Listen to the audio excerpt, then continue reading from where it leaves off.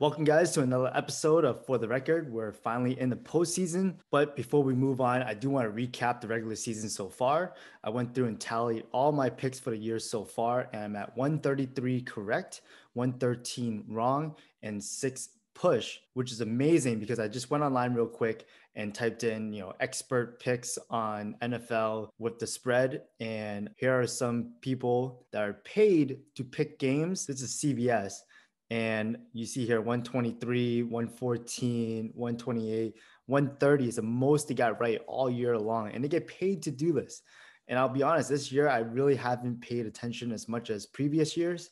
And I still was able to beat them. And it just goes to show that Vegas is so on top of it that it comes down to a coin flip. And, you know, you just got to be savvy about how you gamble these picks.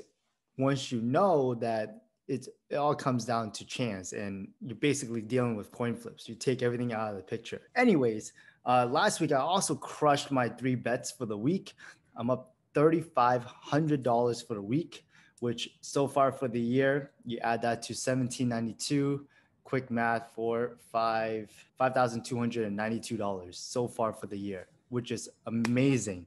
So we're going to try our hardest during the playoffs to keep as much of that money as possible and hopefully do even better. We're starting the week off with Indy at Buffalo minus six and a half. I will say that these two teams, there's not a lot of playoff experience. And it's really tough to predict this game because Indy's a brand new team with a new quarterback, new running back. Like the system has never been tested in the playoffs. And Buffalo hasn't made the playoffs in, I don't know, decades. Um, so it's tough to say, but look at the spread. I think six and a half is slightly too much. And I think that Indy's going to keep it close. They have been starting out really well. They average about 10 and a half points in the first quarter alone in the last six games, which is great. Also do want to mention that Buffalo is going to be missing Cole Beasley, which is one of those players that you know keep drives alive. So I think that's very important there too. Next, we go to LA Rams at Seattle minus three and a half. Jared Goff a couple weeks ago hurt his thumb. He had to go get surgery and missed a week. He's questionable to start this week, but even if he does, he's not going to be 100%. I honestly think that three and a half is really small of a spread. I get it. They're in the same division and they've played each other two times so far this year, but I'm going to give the edge to Seattle. Next, we go to Tampa Bay at Washington plus eight. And the reason why I'm going Tampa Bay is because their team is on fire.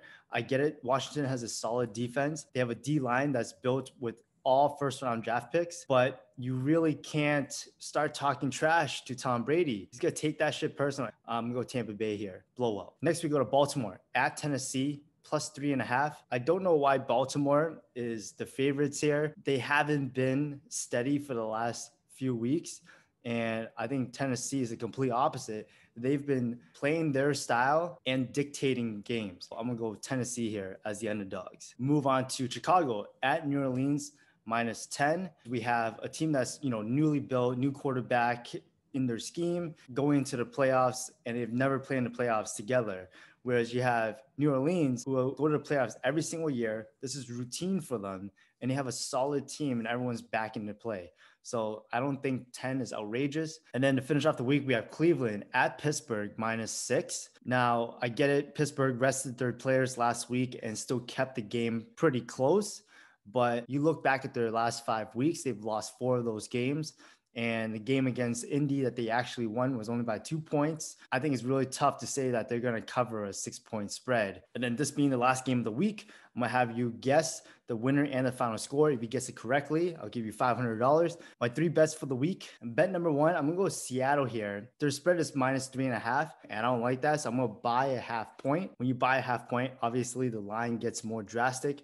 It goes up to a minus 140. So that means $700 on the line to win 500. Next, we go to bet number two. It's going to be a two team teaser. We're going to go Tampa Bay. I love the minus eight because you do a teaser on it, you minus six points, you get down to a minus two. So it goes from Vegas thinking that they're going to win by more than a touchdown to just simply winning by a field goal. Next, I'm going to go Tennessee plus nine and a half. I'm gonna put a thousand dollars on this. No juice on a two-team teaser. And then bet number three is another two-team teaser. Indy plus 12 and a half, and then also Cleveland plus 12. Yeah, for the record, yeah. For the record, for the record. Yeah.